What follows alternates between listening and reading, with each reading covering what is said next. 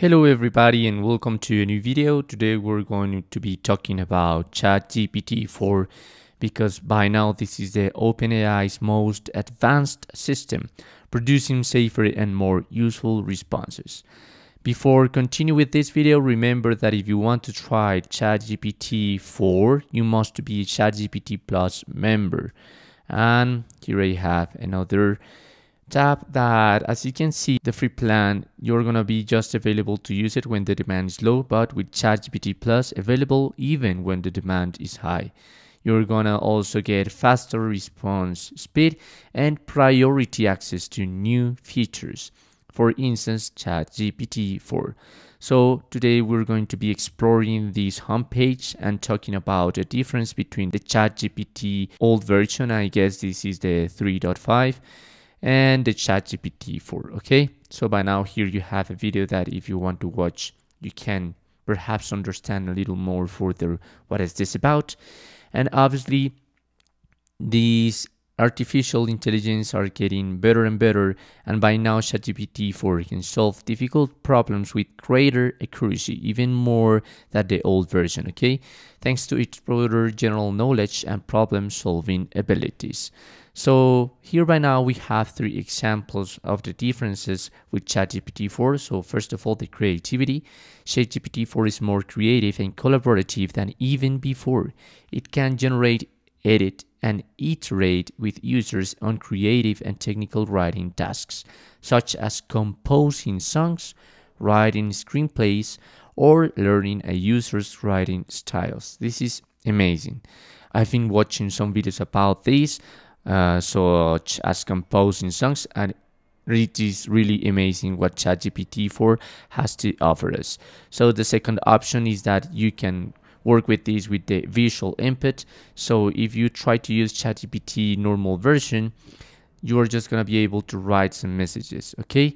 But with ChatGPT 4, this is an example of it. You could take a photo with your camera and make it as an input. So here the question is, what can I make with these ingredients? and here you're gonna get some responses in the output some of the i don't know like recipes and obviously then you can write like the process of that recipe. I don't know the first one pancakes or waffles. And it's gonna give you the detailed uh, process of the recipe okay? And the third difference is the longer context because now ChatGPT 4 is capable of handling over 25,000 words of text. That's a lot. Allowing for use cases like long form content creation, extended conversations, and document search and analysis. So by now, I guess this is really useful for the social media if you want to write some scripts for your YouTube channels and so on. This is going to be really useful and you could generate as much as you want. So um, here I'm going to update, refresh this page because ChatGPT is a lot faster than the old version. Here you can see the difference.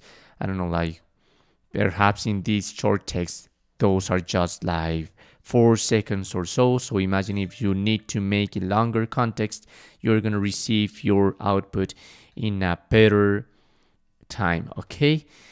And if you continue scroll down, you're going to get some, I don't know, like scoring and so on, and some other information and data as some apps that have been using this ChatGPT 4 and also some alliances that it has.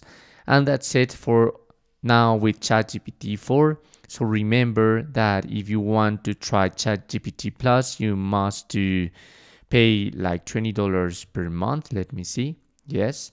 And you're going to be able to use it and priority access to new features. And also if you don't want to pay by now you can make click on join api waitlist. And in that way you're gonna let your data your personal information and you're going to join the waitlist and receive a message when you're going to be able to use this artificial intelligence. And that's all for today Remember ChatGPT 4 the newest and most advanced system on OpenAI. Thanks for watching.